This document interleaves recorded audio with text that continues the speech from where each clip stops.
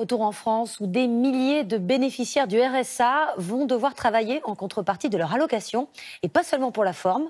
Le conseil départemental de l'Aisne entend les mobiliser 35 heures par semaine, des heures consacrées à des travaux d'intérêt général, mais aussi à leur formation. Les explications de Barbara Six et Dominique Mass. L'Aisne, l'un des départements les plus pauvres de France. 38 000 personnes touchent le RSA c'est 12% de la population active. Pour les remettre au travail, le conseil départemental vient de voter des mesures inédites. Il s'agit de rendre euh, finalement acteur, davantage actif de son parcours d'insertion, le bénéficiaire du RSA.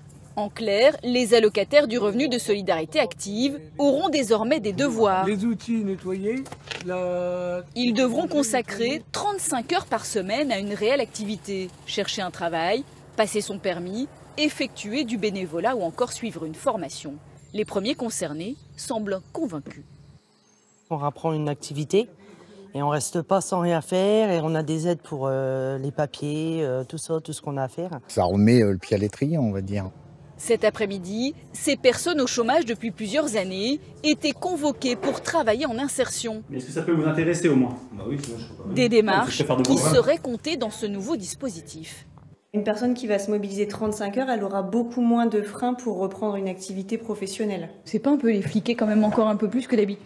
Bah non, c'est de l'accompagnement ce qui est proposé. Hein. C'est vrai que ce sera euh, sur la base de la volonté de la personne, donc c'est de l'accompagnement.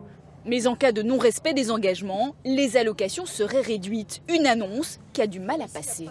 Vu comment le temps est dur en ce moment, hein, s'ils enlèvent encore euh, moins de ce qu'on a, ça va être de plus en plus difficile. Ça va inciter les gens à chercher du boulot, mais il n'y en a pas.